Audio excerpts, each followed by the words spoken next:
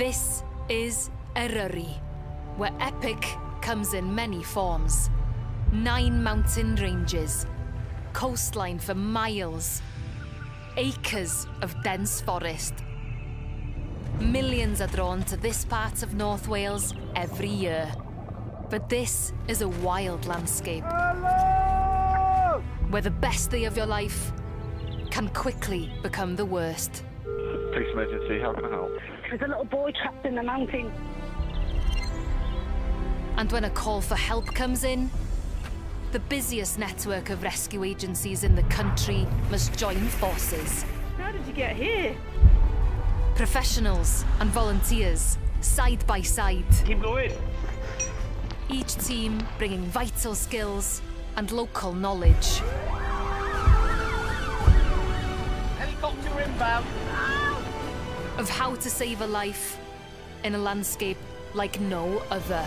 Two casualties from life-changing injuries. Life is good when people help each other.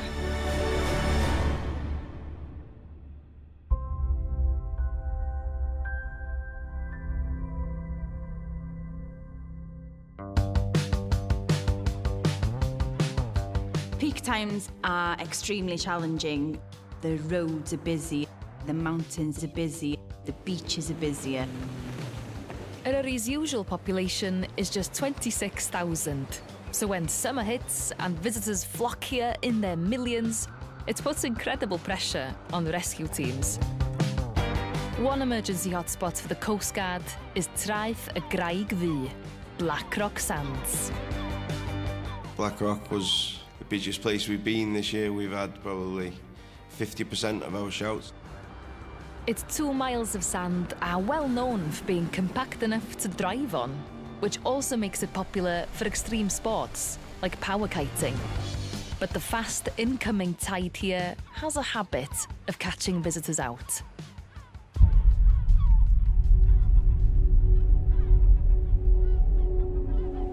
It was a, a fabulous day. The weather was glorious. I, I took my kite out.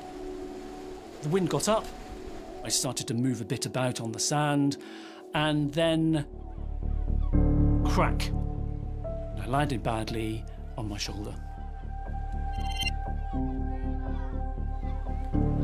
Power kiter John urgently needs hospital treatment. But Traeth is around 30 miles away from the nearest A&E at Ysbyty Gwynedd in Bangor. This call-out needs a multi-agency response. But right now, the ambulance service is dealing with a huge volume of calls, and there's no rescue helicopter available. So the Coast Guard rescue team are first on the scene.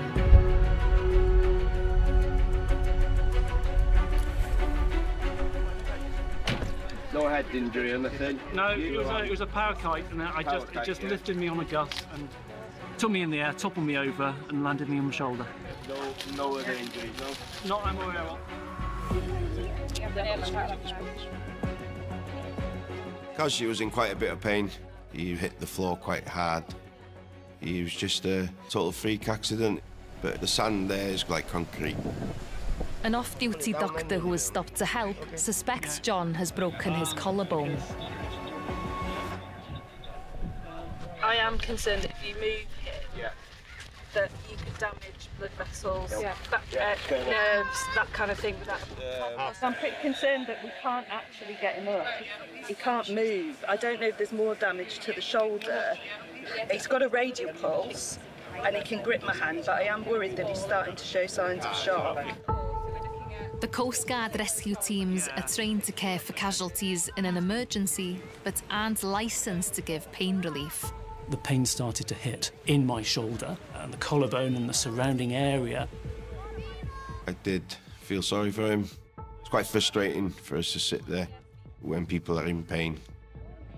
After speaking to the doctor, I'm not that happy. I'm trying to move you into a car as long as you're fine there. So that's where we're at now, I'm afraid. It's not the answer you want to hear.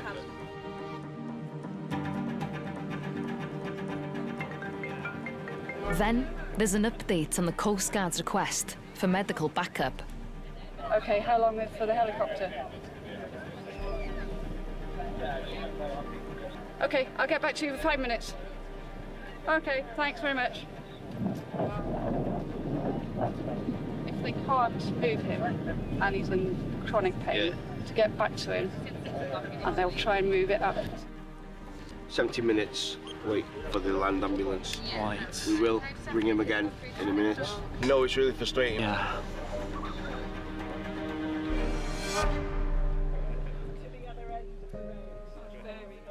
It's important to get an ambulance quickly, especially into that situation where they could have had internal bleeding or trapped nerve. But being a busy bank holiday weekend, they were flat out.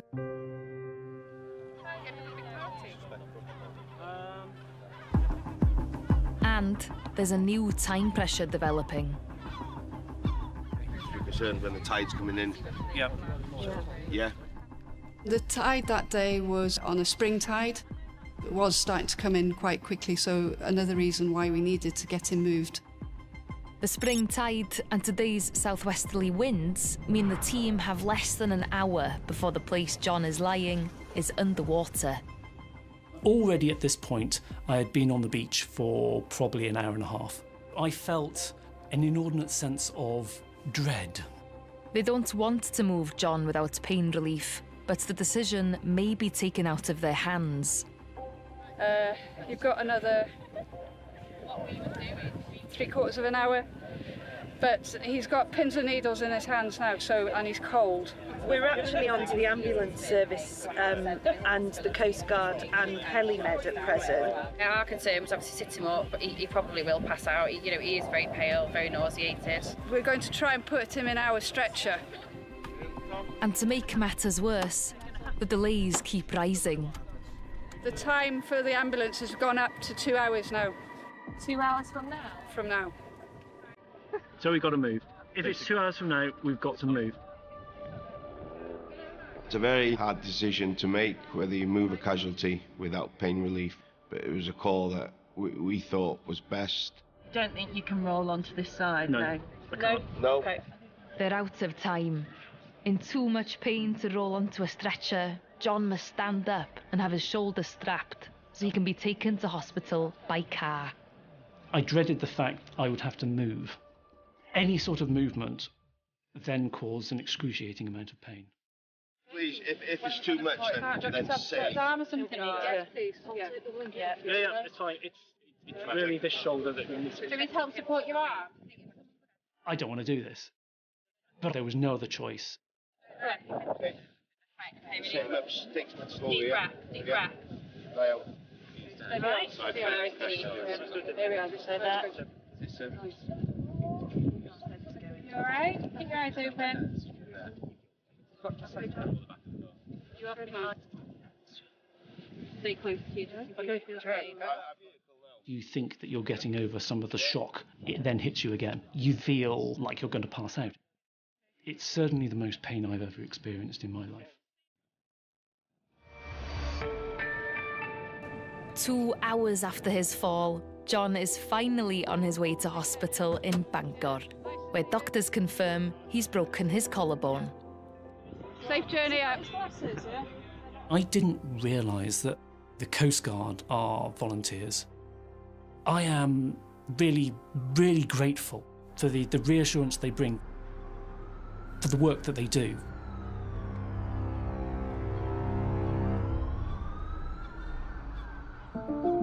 Ambulance delays like these are common across the UK, but Eryri's unique geography adds an extra challenge. It's a very rural environment. The roads are narrow, houses are few and far between. Where we are rurally in Snowdonia, it's a good hour's travel to hospital.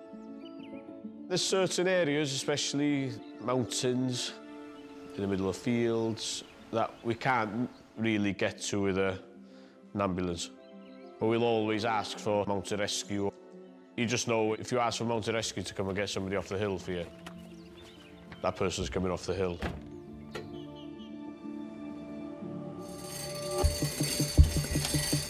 But Mountain Rescue are also under huge pressure, with North Wales the organisation's busiest region for call-outs.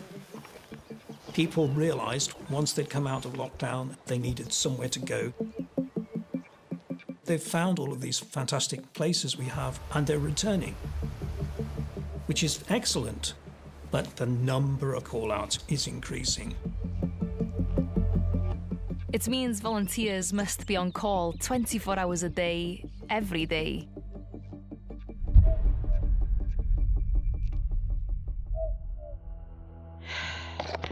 It is almost midnight. In the Ogwen Valley, two climbers abseiling down Tryfan have got stuck just below Llwybr Gregus, also known as Heather Terrace.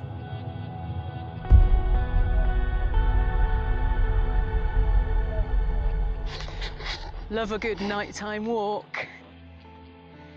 If someone is in trouble and we are the only people that, that can go to help, even when you're really rather be in bed. The rescue party Radio Base, who were in contact with the casualties, Yeah, we're on Heather Terrace now. Can we have light and shout from the cast party, please? Over.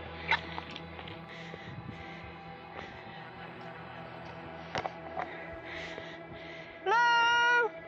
I can hear something. Hello! Keep shouting! Stay where you are. Are you okay? It can be a very daunting place at night. We spend a lot of time in and around that area, so for us it's just kind of an extension of our home. Yeah, okay, 245. Yeah, we have uh, comms and we can see the cast party over.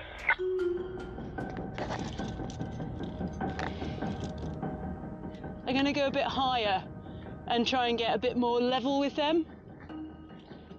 volunteer Mo leads the way, fixing anchors into the rocks for Steve and the team to follow. When you're on a job, emotions can run quite high. Whenever it's two o'clock in the morning, and if you're stood on something very small and you're trying to move across some sketchy ground, but you definitely have to just take a few deep breaths and trust in your team. Dom, I'm safe. Take me off. So you've got the last five metres of rope over. So these guys are just up here, look. Oh, yeah. Does it look like the terrain either side of you is traversable? No? Okay. We'll stick another handline on, so you can hand line them across. Yeah, definitely.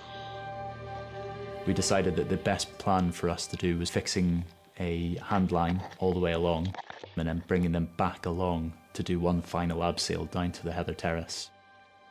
We're going to set up a handline across. Over. You guys okay? Are you safe at the moment? Yeah. Uh, that's Mo with the two casualties.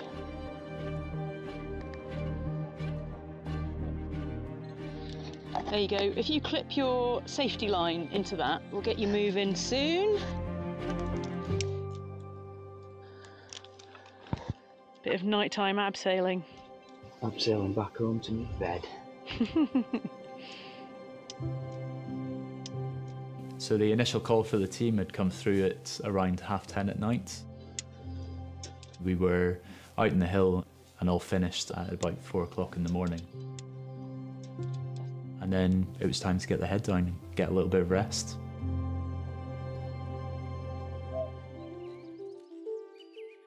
But after just five hours of sleep, Steve was woken by a second emergency call on the same mountain. The message came up on my phone, feeling fairly groggy. I took one look at it and I kind of thought, ooh, should I go? Day to day, I'm actually a student nurse. At the minute, I'm in my third year of studying, so I'm getting close to the end of it. So it gives me a lot of free time, so to speak, sometimes. Yeah, literally comes straight from work.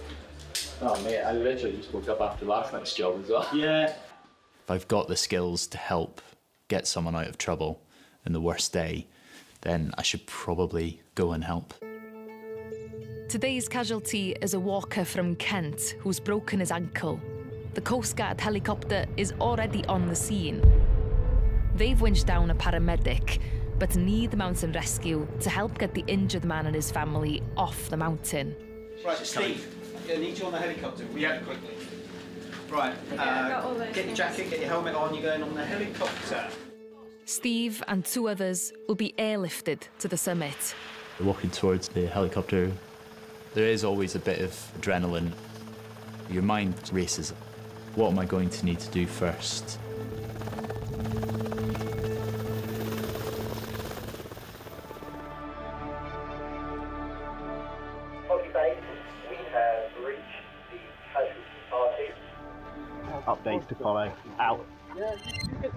You get yourself comfy. You're not worried about anything else. You're like...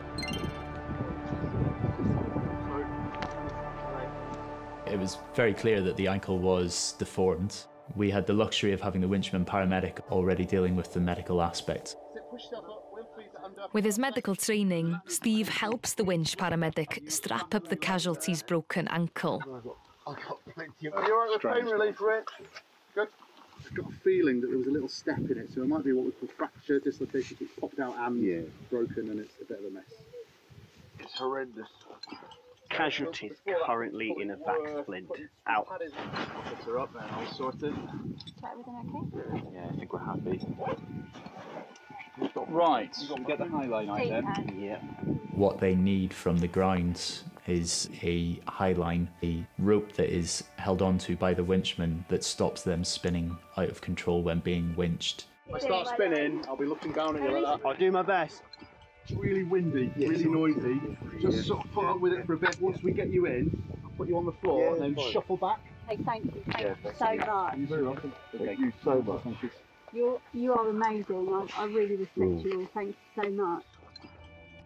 There was me thinking I'd have a day this week without going up Tryfan.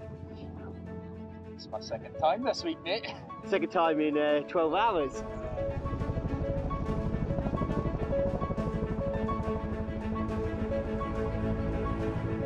Whenever the winchman and the casualty get that lift off the ground and they're in the air, there is a, a feeling of relief.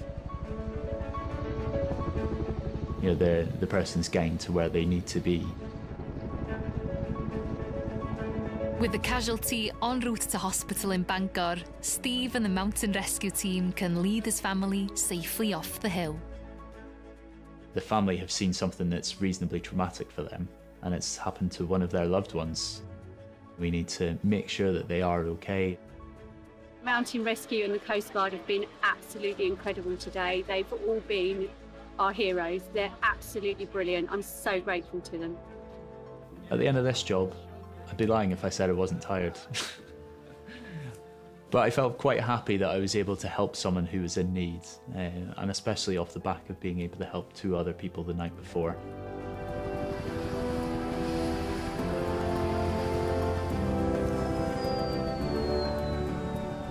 Your leg was pointing that way, and I made it point straight again.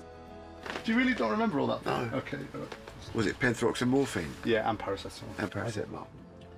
There was a rock that was angled out, and then I got my right foot caught, and the momentum, and I ended up getting my left foot then caught between some rocks, and my momentum carried it over, and my ankle stayed where it was. So, and I heard it snap like a twig. Hmm. Yeah, and then it, and I looked down, and it was facing off the other way. So I said to them, "Yeah, you better get on the phone." We'll do as much as you can yourself, and we'll help you uh, whatever you need to help with. So if you shuffle yourself over, just hold on. To get two jobs within 24 hours, it's not unheard of, but it doesn't happen every week. This job happened really, really efficiently, uh, and I think that just lends itself to this ongoing collaboration that we have between the different agencies. If we hadn't been called for this, there would have been absolutely no chance of him getting off the hill. Cheers.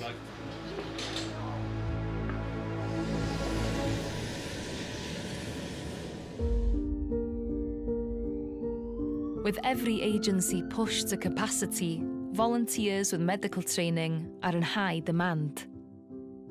I chose to become a GP, but I always knew that just doing that job wouldn't be enough. The Mountain Rescue Organisation relies on the time and dedication of volunteers from a whole range of backgrounds. Teachers, tree surgeons, policemen, business owners. And I thought, right, I can make a difference here.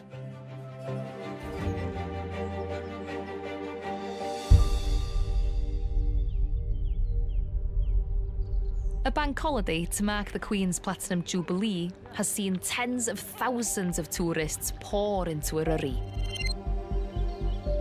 A woman walking in the hills near Bala has fallen unwell. She's struggling to breathe, and her heart rate is dangerously high. But she's on a rural track, five kilometres from the road, in the hills above Llyn Celyn, where an ambulance can't reach her. We do tend to get the more complex jobs in the summer seasons with the rescue element put in as well. We wouldn't have been able to take an ambulance up to the patient at all, so we had to wait for mountain rescue.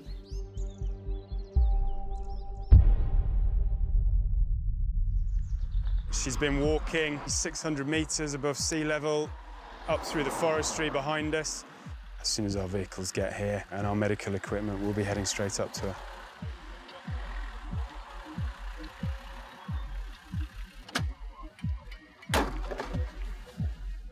Local knowledge plays a huge part in all these kinds of rescues. We were able to access a forestry track that would enable us to drive to the summit of the mountain that, that she was located on. I had a pretty good idea before going. Kachi kamakaku skinare ni umoderu sadukanante inai yogu yaku rara sama ara meya oku boku name kiwe ara hina oko ira iku i ikikatsu i ikikatsu boku wa kimi wa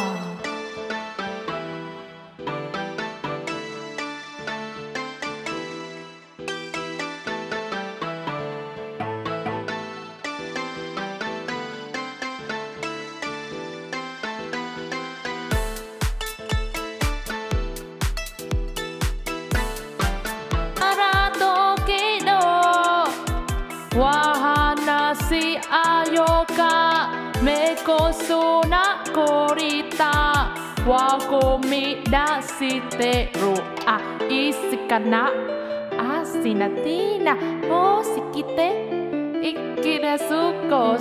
きなまごとれた彼も知らない闇かかゆのかかレッドスナラストシワニぬのマスラどうすかばら足ねもしながブス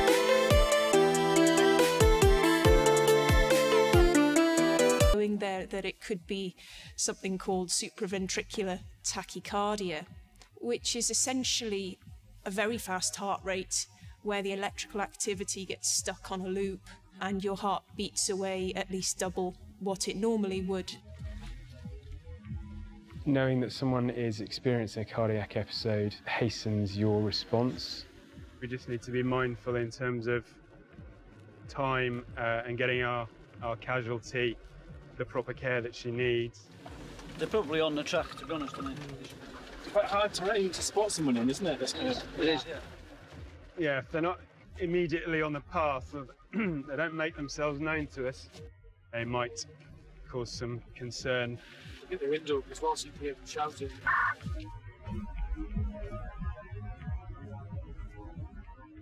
Given the, the distance and the sort of the gnarly terrain, it took us the best part of 30 minutes to drive up to her. Meanwhile, GP Hayley arrives at the roadside. So, what's our plan? Where can we get her to? Down, back down Right here. down here? Back down here. Down. Asked for ambulance, but Yeah. nothing. It's probably going to be a while, Yeah. knowing the ambulance what's the- waits here. Yeah.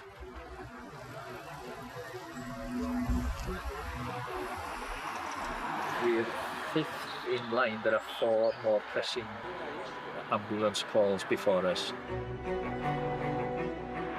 The plan was an ambulance to meet us at the roadside. But of course, they're a busy service. They won't come and wait. So they were carrying on with the jobs in the area and then waiting for us to update them. We are in a queue in the, the ambulance system. We don't have a, an ambulance allocated to us. You know, might cause some concern for her, so we won't necessarily mention that at this stage.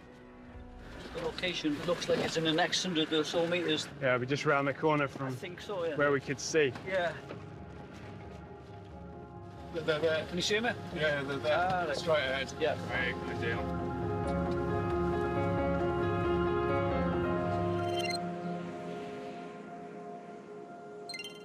We've just arrived with her now. My guys are making an assessment, and yeah, we'll aim to load up uh, as soon as we can. It's just simply high heart rate. Yep. All we can do is put her on oxygen and get her out ASAP. Oh, right, sorry. Normal heart rate is about 60 to 100 beats per minute. This lady's heart rate was going 140 to 150 beats per minute. That requires hospital admission and specific drugs to slow that heart rate back down. Ti'n iawn?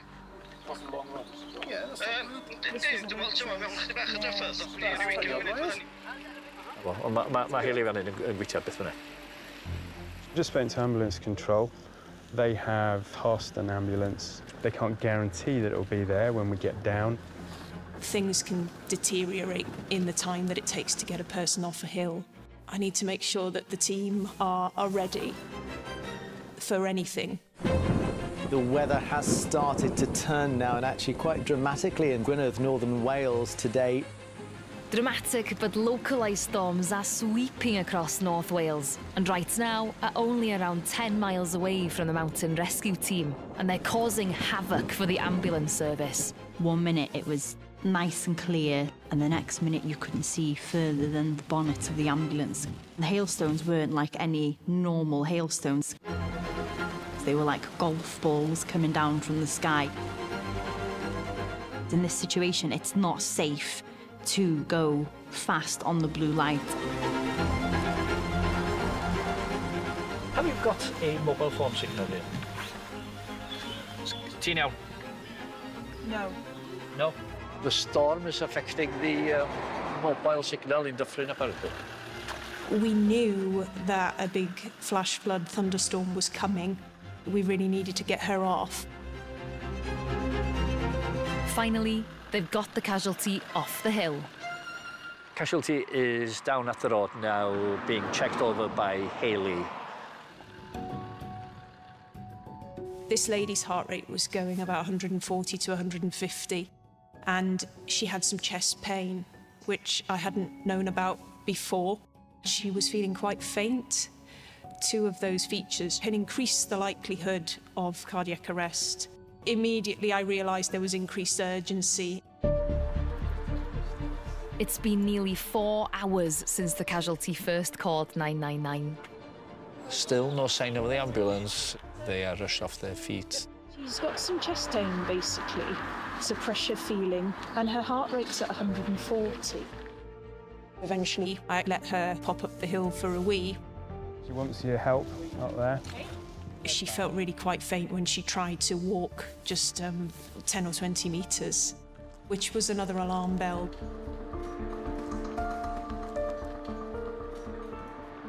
We needed that ambulance now. have upgraded to highest priority. Over. All I knew is I needed to get this patient to the hospital as quickly and safely as possible.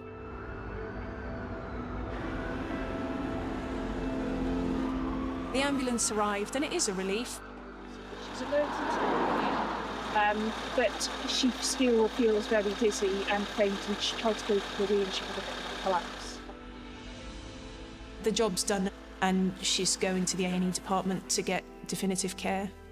We were really lucky to have Mountain Rescue there. We were also extremely lucky because there was an off-duty doctor within their team. At the heart of it, and we just want to help people get them out of difficult spots and make sure they live to tell the tale.